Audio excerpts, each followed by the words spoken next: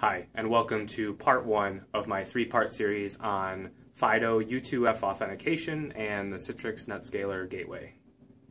In the first part, this video, I'll discuss some theory around what U2F is and give you some background as to why we might want to use it. Uh, in the second part, I'll discuss some architecture, how I integrated U2F and other components into my lab, and how you can too. And then in the third part, I'll actually do a hands-on live demonstration of the implementation, all of the bits and pieces along the way. So let's start at the beginning with the FIDO Alliance.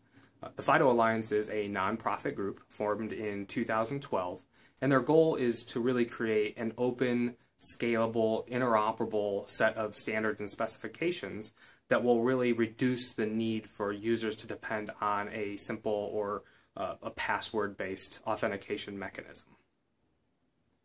Next, of course, would be evangelizing uh, this specification and uh, having it adopted into broader, uh, more accepted standards organizations check them out. Fidoalliance.org they've got uh, an about page which discusses you know their their mission statement and then the specifications are all listed as well. And really onto that uh, one of the specifications that was created was the u2f spec. And what u2f really is is a definition around creating a, a pluggable trusted method for uh, to validate a user presence that still operates on this open and standard architecture to really allow everyone to adopt a simple uh, universal two-factor, rather, which in turn gets to the point of less complex passwords. Because we all know uh, part of the reason for password complexity is just that they're eventually easy to guess or with enough effort you can guess them. But with a, a user presence type second factor we ensure that not only is the password what the user uh, it wants but also that we can confirm that they're there, they're, they're trying to do the authentication. I think a very interesting part about the U2F spec is how uh, the implementation is built in such a way that we can uh, challenge the user and expect a response using a token or some pluggable device. Again, this trusted pluggable method that I spoke about before. So at any time, we can kind of ad hoc say, hey, tell me you know, confirm that you are you, and I expect you to be able to return a response. And what I'll show you today is really just a standard authentication using that challenge response mechanism. An important piece of this keying technology, this token technology, is that uh, while it's unique to you, when you register your key with a service, it actually creates a unique identity that's specific to that service and your key. And in doing so, this prevents services from commingling and potentially sharing information about you as, a, as an identity or as a person, while still providing you with the universal ability. The customer, the user, has the ability to use one key across many services, and that's really why uh, this is a universal two-factor specification. So being that the spec is brand new, it's not like there's a ton of implementation, but I wanted to get a jump on it and see what I could do. And, and in doing some other research, I came across the, the security key from YubiKey. It's the, one of the first U2F uh, compliant devices. And of course, uh, this spec, if once you read it, which I, I encourage you to do so, really requires uh, you know several components to be compliant. So this is the first actual. This is the pluggable token I was talking about before. It's trusted. It's uh, you know it's unique to you. It can answer a challenge response. So it does all the stuff that the device needs to do. And then I have some other components where we integrate later. Now, of course, uh, being a Citrix SE, I thought this is cool. How can I use this uh, with Citrix technology? And being that it is an authentication mechanism, no better place to start than the gateway. And so what I'll show today in the demo is how I can use this uh, with very little effort uh, to authenticate to my own lab and do strong two-factor with a, a, very simple password. So there's a few pieces that are required, of course. Uh, for today, I'll have a NetScaler gateway. I'll have this uh, spec compliant token.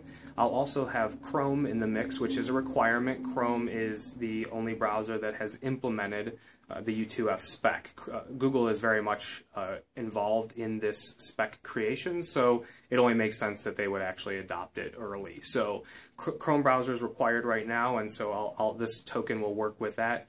I'll also have uh, a radius proxy. So the NetScaler today uh, doesn't implement U2F. Uh, like I said, there's only a few that have, but NetScaler does allow for radius communication for as a security mechanism, and I'll leverage a cool company doing software as a service called Duo Security that ha has implemented and embraced U2F. So we can actually pass off via NetScaler Gateway to Radius and, and do an authentication against the proxy. So next you'll see I'll take my YubiKey and my Chrome browser and NetScaler Gateway and get authenticated to my lab uh, securely using two-factor. Here we go.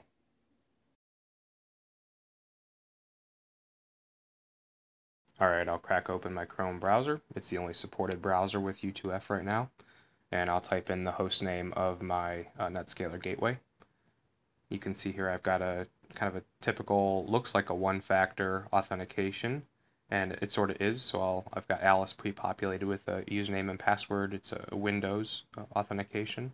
I'll click Login, and that'll pass that Windows authentication through the NetScaler via Radius to an authentication proxy uh, and so the LDAP binding was successful here. And so I'm presented via an iframe uh, a Duo Security second factor authentication. So this is actually a web service and it's embedded within that iframe. And because I've got U2F tokens, we have to talk through the browser to the token and this will facilitate that. Uh, I can click manage devices and what you'll see is that this token will start to light up. I can press the button and it'll put me into the management screen. So this is actually kind of unique to Duo Security because I can manage tokens for that service within this, this iframe. So kind of powerful on the Duo, Duo Security but also the NetScaler for being able to present that. I'm going to go back and just do a regular login. I'll click there and this will actually do that token authentication again. You see there and it's prompting that token. I'll press the button and that will actually log me in to uh, the NetScaler gateway, pass me through to storefront, and now I can launch my desktops. So as you can see, uh, really simple, really straightforward, uh, and of course very powerful because it's, uh, it's very easy to implement, and I'll show you that in the next couple of sections. I did want to close today, you know, being an, an emerging technology, uh, I do want to cover some of the pros and cons of the current state and, uh, and at least get, let you know what you're getting into from the pro point of view, uh, these things are rock solid. Uh, at least in the near term, this token I think will be my preference. Uh, I can put it on my keychain. It could go in the washing machine. It could get stepped on, ro rolled over with a car tire. There's no battery. There's really no electronics that are popping up that can get smashed. So it's extremely rugged, which also makes it extremely effective. So uh, I can put it on my keychain, and I can, when prompted for a credential or prompted for a challenge, I can give the response real quick, real easily, with low risk of you know snapping things off and whatnot. It also, uh, from a, a, pro point of view, it does empower users because um, you know, like the Citrix message of uh, work anywhere, uh, you know, bring your own device. I think security also needs to be broad. We need to be able to empower our users to bring their own encryption or bring their own device for, for password authentication. And that will really, really bring down the onus of the uh, enterprise to supply tokens to everyone and continue that uh, regimen when in fact we could go to more of a, a simple method.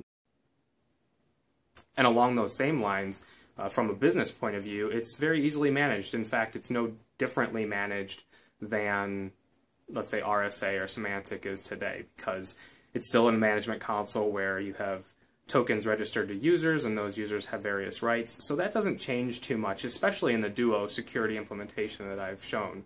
It's, uh, it's very straightforward and easy from a management point of view.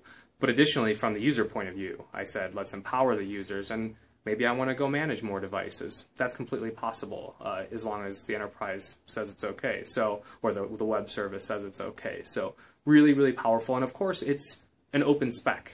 That's great. Everybody can audit it. You can see what you're getting into. And most importantly, if you have the skills or talent, you can develop against that spec so that uh, rather than paying a, so a, software as a service for authentication, you can just do your own authentication in-house and implement the spec. But of course, there's downsides as well. Uh, first of all, it's bleeding edge, so I wouldn't expect broad vendor adoption anytime soon. It does help that Google's behind it, but in general, uh, I think the spec is emerging and it will take some time. It, the, the, use cases also being that only Chrome, only a couple of keys, uh, and really a couple, only a couple of services that support it. Uh, it's a limited use case to begin with. Uh, I think we can adapt to it and grow, especially with uh, services like Duo Security that help abstract it to an extent, but uh, it, it, will take some time to broaden the use cases.